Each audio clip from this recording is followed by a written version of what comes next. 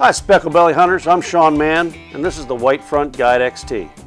The Guide XT is a turned acrylic call that is just not polished and doesn't have a band on it. So it's, it's a guide's version of an acrylic speckle belly call. And it'll do, as you can hear, all the sounds that a speckle belly goose call should make for you and all the sounds that the speckle belly geese make.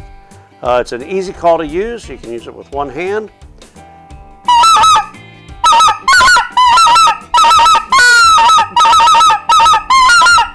Add the other if you want to soften it up.